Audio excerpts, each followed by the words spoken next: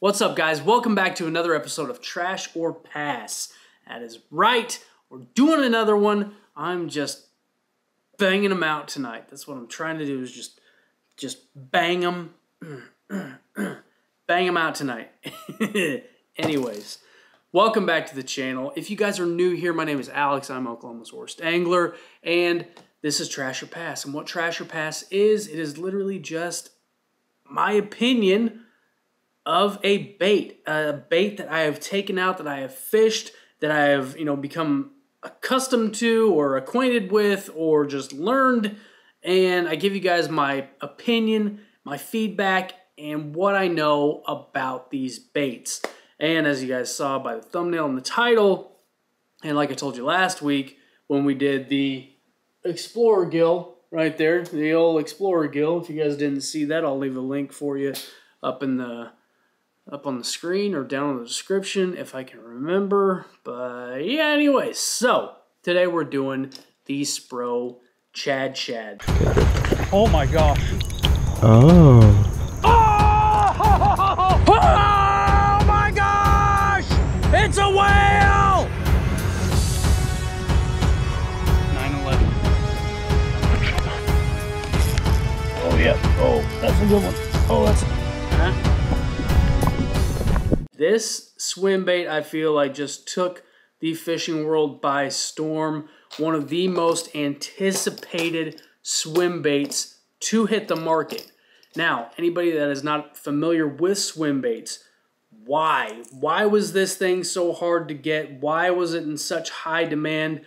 Why were my local tackle shops carrying it? Why was Tackle Warehouse always sold out of it? This is like it's it's one of the legends in the swim bait world, in my opinion.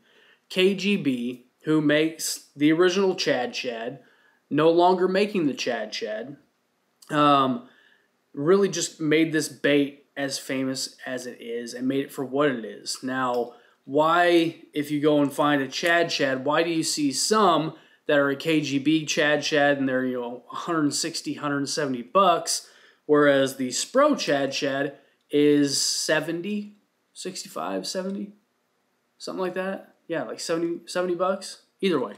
Why? Why is that? This is plastic. It is an ABS mold. It is plastic. The original Chad Shads are an actual resin. They are a handmade bait, and that's the reason why. But let's let's move forward, okay? KGB, Chad Shad. it just it made it what it is, made it as famous as it is, and made it one of the reasons why these are so hard, or they were so hard to get a hold of. Now, what we've got on here with the Chad Shad, we've got swiveling hook hangers, we've got a direct line tie. I would definitely recommend you use a snap or split rings. You're going to get more action out of your bait if you put a snap or split ring on there instead of direct tying to the line tie. You don't want to do that. You do not want to do a direct line tie. That is, again, just my opinion. That's what I say. That's what I think. That's how I feel. So I just, from me fishing them as a direct tie to that, or fishing with a snap or split rings, you're going to get more action out of this bait. You're going to get more reaction, more bites, more fish landed. So let's talk about this bait. It is a slow sinking bait. I've got a couple of them here. This is actually a custom painted one that I got from uh, Tulsa Tackle and Outdoors. I don't remember the painter's name. I feel like I've asked them every time I've gone in there because I've gotten a ton of compliments on this paint right here. I believe his name is Mark, but this paint is solid. And you can see it's a little chewed up. It's got a little bit of rash on it. And uh, that's the one I've been fishing the most lately. So, the bone as well, solid one. And then I have a uh, gizzard, no, I have a I have a thread fin, a thread fin around here somewhere. But as far as colors go, if you go just directly out of the, you know, out of the package, personally, I think the bone is hard to beat. I think the bone is just the way to go.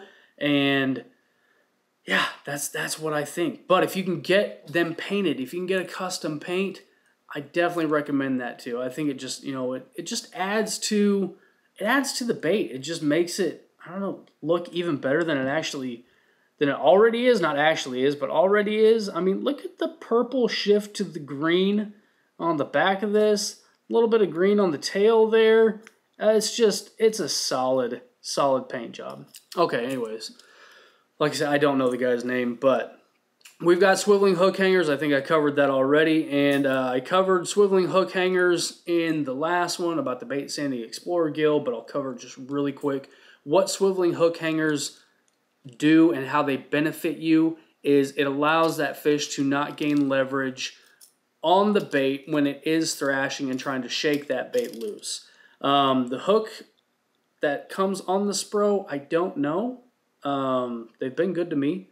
It's not an EWG, it is a straight shank. I don't, like I said, I don't know if they're owners or what it may be, but um, the setup that I would throw that on is going to be very similar to the Explorer Gill 710 76 medium heavy ghost code, the moderate fast. These are rated one to four ounces.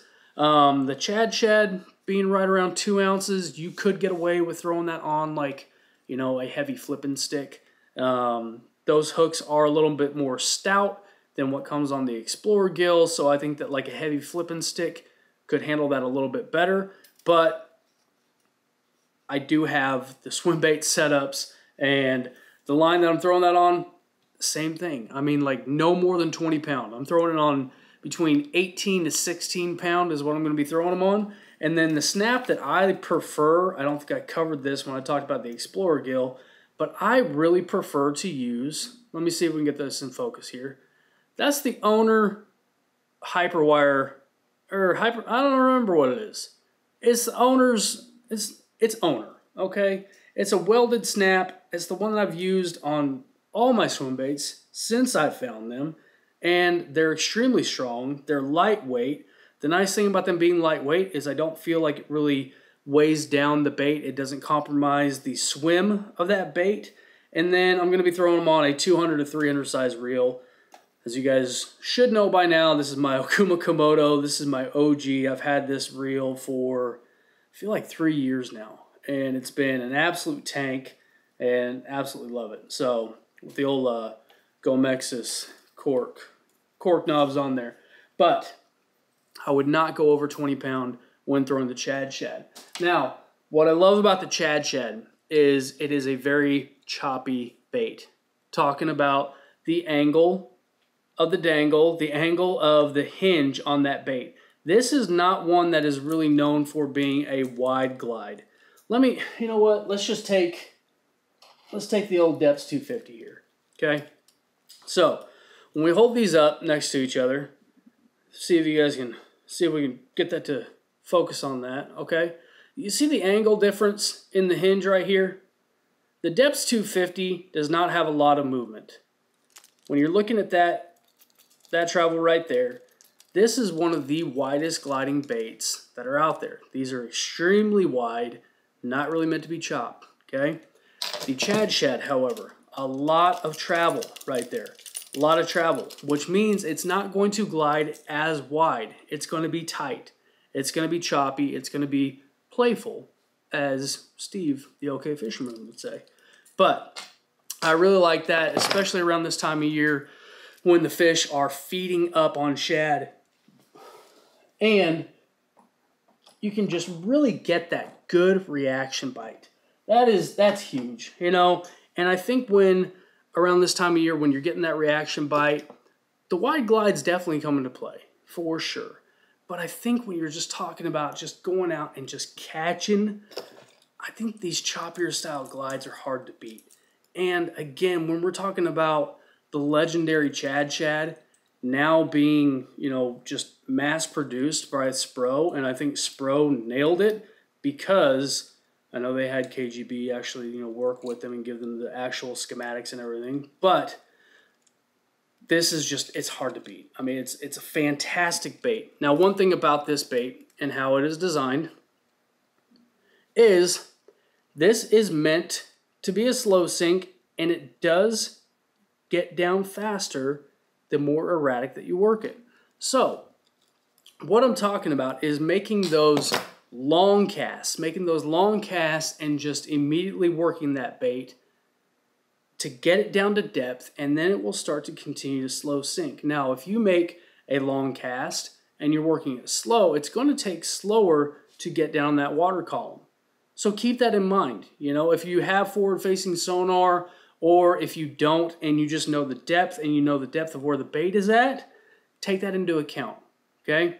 Forward facing sonar is great because that's when you're really able to see how that bait is working, how fast it will get down to depth, whether you're working it quick or working it slow, how fast it will sink, how fast it will, you know, slow float in, you know, some cases.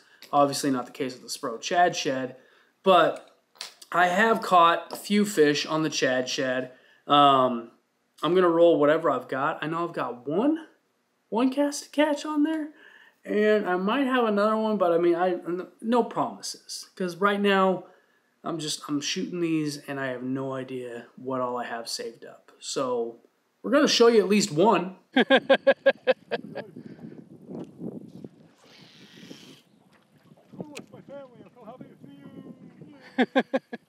I miss you all day.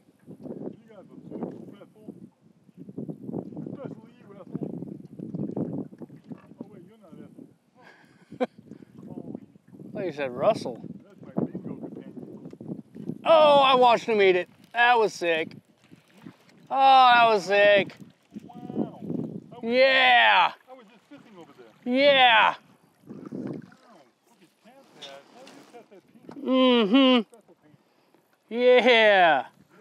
Oh, finally.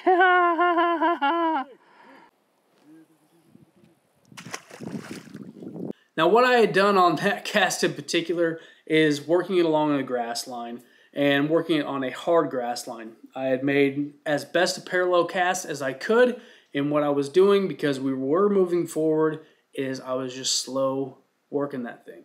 Because as we're moving forward, this thing is just moving, just kind of meandering, just nice, you know, meandering, slow swim.